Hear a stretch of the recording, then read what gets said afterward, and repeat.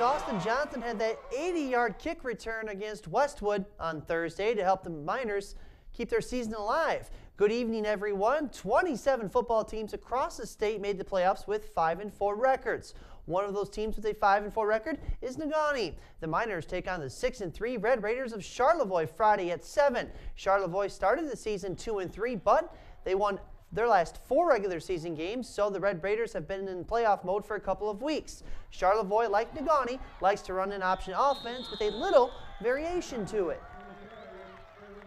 A little different, a little split back on outside option. Um, you know, responsibility. We went against West last week, option, option team again.